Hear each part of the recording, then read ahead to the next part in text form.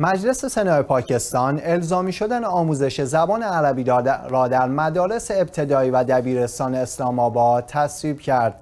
به گزارش شیعه ورز به نقل از جی او تیوی بر اساس لایحه تصویب شده که از سوی جاوید عباسی از نمایندگان سنا پیشنهاد شده زبان عربی باید از کلاس اول تا پنجم ابتدایی آموزش داده شود و دانش آموزان کلاس های ششم تا یازدهم نیز باید دستور زبان عربی را بیاموزند.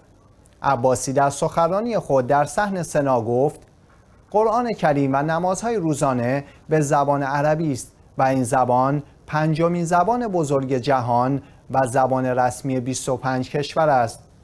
وی با تاکید بر لزوم فراگیری زبان عربی برای دانش آموزان گفت اگر مردم قرآن کریم را درک نکنند کشور با مشکل مواجه نخواهد شد.